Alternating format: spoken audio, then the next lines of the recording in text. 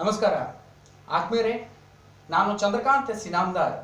ಈ ಒಂದು ವಿಡಿಯೋದಲ್ಲಿ ತಮಗೆ ಸಾಮ್ಯತೆ, ಅನಾಲಜಿ ಅಂತಕ್ಕಂಥ ಕಾನ್ಸೆಪ್ಟ್ನ ಆರನೇ ವಿಧದ ಸಮಸ್ಯೆಗಳು, ಸಾಧನ ಮತ್ತು ಕೆಲಸಗಾರ ಅಂತಕ್ಕಂಥದ್ರ ಬಗ್ಗೆ ಇಲ್ಲಿ ನನಗೆ ತಿಳಿದಿರುವ ಕೆಲವೊಂದಿಷ್ಟು ಉದಾಹರಣೆಗಳನ್ನು ತಮ್ಮ ಎದುರಿಗೆ ಬಿಚ್ಚಿಡ್ತಾ ಇದ್ದೇನೆ. ತಾವು ಆದಷ್ಟು ಈ ಒಂದು ವಿಡಿಯೋಗಳನ್ನು ಲೈಕ್ ಆ್ಯಂಡ್ ಶೇರ್ ಮಾಡಿರಿ. ಹಾಗೂ ಚಂದ್ರಕಾಂತ್ ಇನಾಮದಾರ್ ಯೂಟ್ಯೂಬ್ ಚಾನಲ್ಗೆ ಸಬ್ಸ್ಕ್ರೈಬ್ ಆಗ್ರಿ ಅಂತ ತಿಳಿಸ್ತಾ ಇವತ್ತಿನ ಕ್ಲಾಸನ್ನು ಪ್ರಾರಂಭಿಸೋಣ. ನಾನು ಹಿಂದಿನ ಕ್ಲಾಸ್ನಲ್ಲಿ ಸುಮಾರು ಐದು ವಿಡಿಯೋಗಳನ್ನು ಈಗಾಗಲೇ ಸಾಮ್ಯತೆ ಹಾಗೂ ಅನಾಲಜಿ ಅಂತಕ್ಕಂಥ ಕಾನ್ಸೆಪ್ಟ್ ಮೇಲೆ ಬಿಟ್ಟಿದ್ದೇನೆ. ಇದು ಆರನೇ ವಿಡಿಯೋ. ಕೆಲಸಗಾರ ಹಾಗೂ ಸಾಧನೆಗಳು ಅಂತಕ್ಕಂಥ ಕಾನ್ಸೆಪ್ಟ್ ಬಗ್ಗೆ ಇಲ್ಲಿ ನಾವು ಇಲ್ಲಿ ತಿಳ್ಕೊಳ್ತಾ ಇದ್ದೇವೆ.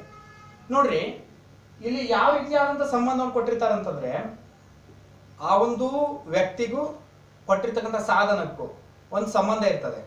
ಅದು ಯಾವ ರೀತಿ ಸಂಬಂಧ ಇರ್ತದೆ ಅಥವಾ ಮುಂದಿನದಕ್ಕೆ ನಾವು ಯಾವ ರೀತಿ ಉತ್ತರ ಕಂಡುಹಿಡಿಬೇಕಂತ ಅನ್ನೋದನ್ನ ಈಗ ಕಂಡಿಡೋಣ.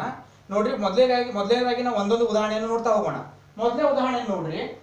ಯೋಧ ಖಡ್ಗ ಡಾಕ್ಟರ್ ಡ್ಯಾಶ್ ಅಂತ ಕೊಟ್ಟಿದ್ದಾರೆ. ಅಂದ್ರೆ ಯೋಧ ಖಡ್ಗ doctor dash option A stethoscope B board C ಬಂದು ಡಿ ಕೊಡಲಿ.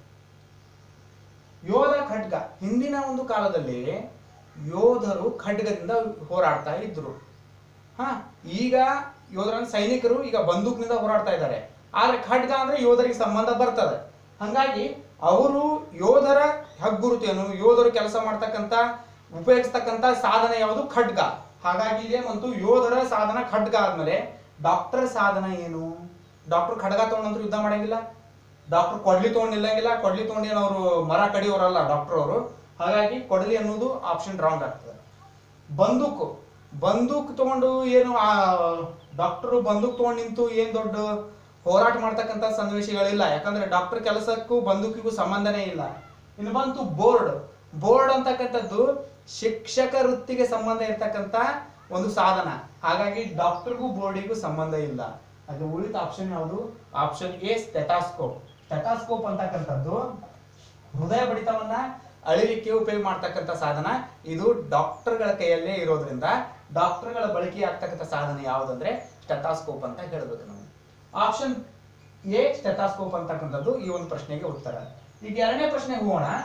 ಶಿಕ್ಷಕ ಬೋರ್ಡ್, ಟೈಲರ್ ಡ್ಯಾಶ್ ಅಂತ ಕೇಳಿದ್ದಾರೆ ಶಿಕ್ಷಕ ಬೋರ್ಡ್, ಟೈಲರ್ ಡ್ಯಾಶ್. ಬೋರ್ಡ್ ಅಂತಕ್ಕಂಥದ್ದು ಶಿಕ್ಷಕ ವೃತ್ತಿಗೆ ಬಹಳ ಮುಖ್ಯವಾಗಿರ್ತಕ್ಕಂಥ ಸಾಧನ. ಈಗಾದ್ರೂ ನಾನು ಈ ಕ್ಲಾಸ್ ನಡೆದದಂದ್ರೆ ಅದಕ್ಕೆ ಕಾರಣ ಈ ಬೋರ್ಡ್. ಹಾಗಾಗಿ ಶಿಕ್ಷಕ ವೃತ್ತಿಗೆ ಬೋರ್ಡ್ ಅತ್ಯಂತ ಮುಖ್ಯವಾಗಿರ್ತಕ್ಕಂಥ ಸಾಧನ. ಹಾಗಾಗಿ ಟೇಲರ್ನ ಕೆಲಸ ನಡಿಬೇಕಾದ್ರೆ ಅಷ್ಟೇ ಮುಖ್ಯವಾಗಿರ್ತಕ್ಕಂಥ ಒಂದು ಸಾಧನ ಇದೆ. ಕೊಟ್ಟಂತ ಆಪ್ಷನ್ನಲ್ಲಿ ಅದನ್ನ ಹುಡುಕ್ಬೇಕು ನಾವು. ಅವ್ರ ಆಪ್ಷನ್ ಏನ್ ಕೊಟ್ಟಾರ ನೋಡ್ರಿ? ಆಪ್ಷನ್ ಎ ಸೂಜಿ ಆಪ್ಷನ್ ಬಿ ಬಂದೂಕು option C stethoscope option D ಕೊಡಲಿ ಅಂತ ಕೊಟ್ಟಿದ್ದಾರೆ. ಕೊಡಲಿ ಅಂತಕ್ಕಂಥದ್ದು ಟೈಲರ್ಗೂ ಸಂಬಂಧ ಇಲ್ಲ, ಯಾಕಂದ್ರೆ ಕೊಡಲಿ ಅಂತಕ್ಕಂಥದ್ದು ಮರ ಕಡಿಯುವ ವ್ಯಕ್ತಿ ಬಳಸ್ತಕ್ಕಂಥ ಒಂದು ಸಾಧನ ಅದು. ಹಾಗಾಗಿ ಟೈಲರ್ಗೂ ಕೊಡಲಿಗೂ ಸಂಬಂಧ ಇಲ್ಲ. ಸ್ಟೆಟಾಸ್ಕೋಪ್ ಅಂತಕ್ಕಂಥದ್ದು ವೈದ್ಯರ ಬಳಿಯಲ್ಲಿ ಇರ್ತಕ್ಕಂಥ ಸಾಧನ. ಹಾಗಾಗಿ ಟೆಟಾಸ್ಕೋಪಿಗೂ ಟೈಲರ್ಗೂ ಸಂಬಂಧ ಇಲ್ಲ. ಬಂದೂಕು, ಈಗಿನ ಸೈನಿಕರು ಬಳಸ್ತಕ್ಕಂಥ ಸಾಧನ, ದೇಶದ ರಕ್ಷಣೆಗಾಗಿ, ನಾಡಿನ ರಕ್ಷಣೆಗಾಗಿ ಬಳಸ್ತಕ್ಕಂಥ ಸಾಧನ ಬಂದೂಕಾಗಿರುವುದು. ಅದು ಸೈನಿಕರು ಬಳಸ್ತಾ ಇದ್ದಾರೆ, ಪೊಲೀಸರು ಬಳಸ್ತಾ ಇದ್ದಾರೆ. ಹಾಗಾಗಿ ಟೈಲರ್ಗೂ ಬಂದೂಕಿಗೂ ಸಂಬಂಧ ಇಲ್ಲ. ಆಪ್ಷನ್ ಎ ಉಳಿತು, ಸೂಜಿ ಅಂತಕ್ಕಂಥದ್ದು.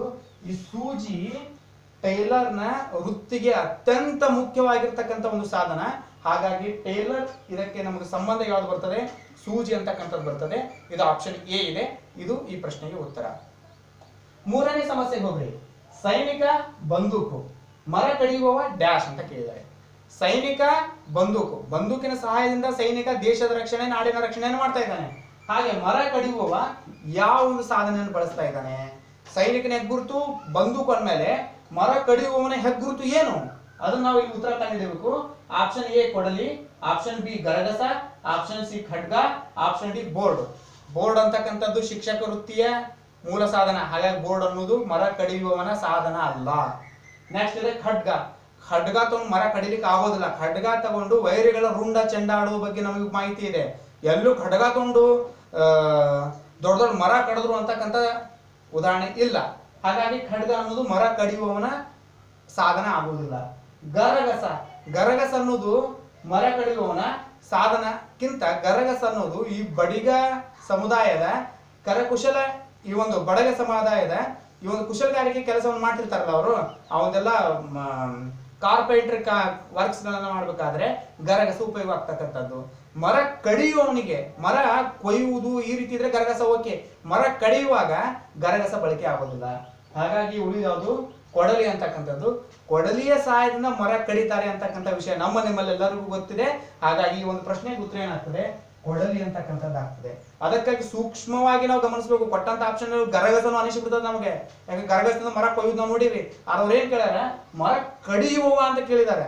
ಮರ ಕಡಿಯುವುದು ಬೇರೆ, ಕೊಯ್ಯುವುದು ಬೇರೆ. ಕಡಿಯುವುದನ್ನ ಕೊಡಲಿಯ ಮುಖಾಂತರವೇ ಮಾಡ್ತಾ ಇದ್ದಾರೆ. ಹಾಗಾಗಿ ಮರ ಕಡಿಯುವವನ ಹೆಗ್ಗುರುತು ಕೊಡಲಿ ಆಗಿರ್ತದೆ ಈ ಪ್ರಶ್ನೆಗೆ ಉತ್ತರ ಕೊಡಲಿಯಾಗಿದೆ.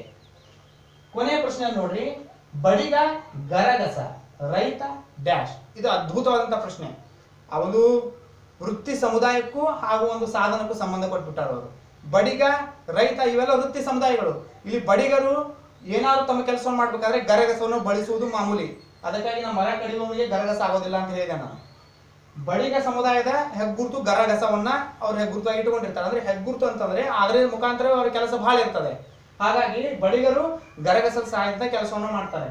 ಹಾಗೆ ರೈತ ಯಾವ ಸಹಾಯದಿಂದ ಕೆಲಸ ಮಾಡ್ತಾನೆ? ಆಪ್ಷನ್ ನೋಡ್ರಿ, ನೇಗಿಲು, ಖಡ್ಗ, ಕೊಡಲಿ, ಬೋರ್ಡ್. ಬೋರ್ಡ್ ಅನ್ನೋದು ಶಿಕ್ಷಕರು ಹೊತ್ತಿದ್ದು ಹಾಗಾಗಿ ರೈತನಿಗೂ ಬೋರ್ಡಿಗೂ ಸಂಬಂಧ ಇಲ್ಲ.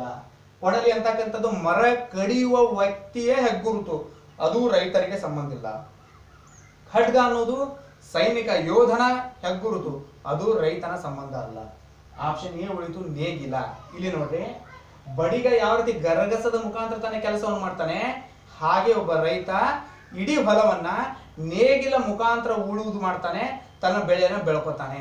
ಹಾಗಾಗಿ ನೇಗಿಲ ಅನ್ನೋದು ಬಡಿಗನಿಗೆ ಗರಗಸ ಎಷ್ಟು ಇಂಪಾರ್ಟೆಂಟು ಹಾಗೆ ಒಬ್ಬ ರೈತನಿಗೆ ನೇಗಿಲ ಅಂತಕ್ಕಂಥದ್ದು ಅತ್ಯಂತ ಮುಖ್ಯವಾದಂತ ಒಂದು ವ್ಯವಸಾಯಕ ಒಂದು ಸಾಮಾನದು ಸಾಧನ ಅದು. ಹಾಗಾಗಿ ರೈತ ಅಂತಕ್ಕಂಥದಕ್ಕೆ ನೇಗಿಲ ಅನ್ನುವ ಈ ಒಂದು ಆಯ್ಕೆ ಸಮಂಜಸವಾದಂತ ಉತ್ತರ ಅಂತ ಹೇಳಲಿಕ್ಕೆ ನಾನು ಇಷ್ಟಪಡ್ತಾ ಇದ್ದೇನೆ. ಹಾಗಾಗಿ ರೈತ ಅನ್ನೋದಕ್ಕೆ ನೇಗಿಲು ಅನ್ನೋದು ಇಲ್ಲಿ ಉತ್ತರವಾಗಿರ್ತಕ್ಕಂಥದ್ದು. ಆದ್ಮೇಲೆ ಇವತ್ತಿನ ಒಂದು ಒಂದು ಕ್ಲಾಸ್ನಲ್ಲಿ ನಾವು ಸಾಧನ ಮತ್ತು ಕೆಲಸಗಾರ ಅಂತಕ್ಕಂಥ ಕಾನ್ಸೆಪ್ಟ್ ಬಗ್ಗೆ ತಿಳ್ಕೊಂಡ್ವಿ. ಡಾಕ್ಟರ್ಗೆ ಸ್ಟೆಟಾಸ್ಕೋಪ್ ಅಂತಕ್ಕಂಥದ್ದು ಸಾಧನ, ಟೈಲರ್ಗೆ ಸೂಜಿ ಅನ್ನೋದು ಸಾಧನ, ಮರ ಕಡಿಯುವವನಿಗೆ ಕೊಡಲಿ ಅನ್ನೋದು ಸಾಧನ, ರೈತನಿಗೆ ನೇಗಿಲು ಅನ್ನೋದು ಸಾಧನ. ಹೀಗೆ ಇವೆಲ್ಲ ಸಾಧನ ಮುಖಾಂತರ ಕೆಲಸಗಾರರು ತಮ್ಮ ದಿನನಿತ್ಯದ, ಪ್ರತಿನಿತ್ಯದ ಕಾರ್ಯಗಳನ್ನು ಮಾಡ್ತಾ ಇರ್ತಕ್ಕಂಥದ್ದು. ಹಾಗಾಗಿ ನನ್ನ ಮುಂದಿನ ವಿಡಿಯೋದಲ್ಲಿ ನಾನು ಮತ್ತೊಂದು ಕಾನ್ಸೆಪ್ಟ್ ಬಗ್ಗೆ ತಮ್ಮೆದುರಿಗೆ ನಾನು ಬಿಚ್ಚಿಡ್ತಾ ಇದ್ದೇನೆ. ಇದರಲ್ಲಿ ರಾಷ್ಟ್ರದ ರಾಜಧಾನಿಗಳು, ರಾಷ್ಟ್ರದ ಹೆಸರು ಮತ್ತು ಅವುಗಳ ರಾಜಧಾನಿಗಳ ಬಗ್ಗೆ ನಾನು ನನ್ನ ನೆಕ್ಸ್ಟ್ ವಿಡಿಯೋದಲ್ಲಿ ತಿಳಿಸ್ತಾ ಇದ್ದೇನೆ. ಹಾಗಾಗಿ ತಾವು ಈ ಒಂದು ವಿಡಿಯೋಗಳನ್ನು ಲೈಕ್ ಅಂಡ್ ಶೇರ್ ಮಾಡಿರಿ ಹಾಗೂ ಚಂದ್ರಕಾಂತ್ ಇನಾಮದಾರ್ ಯೂಟ್ಯೂಬ್ ಚಾನಲ್ಗೆ ಸಬ್ಸ್ಕ್ರೈಬ್ ಆಗ್ರಿ ಅಂತ ತಿಳಿಸ್ತಾ ಈ ಒಂದು ವಿಡಿಯೋವನ್ನು ಇಲ್ಲಿ ಮುಗಿಸ್ತಾ ಇದ್ದೇನೆ. ನಮಸ್ಕಾರ.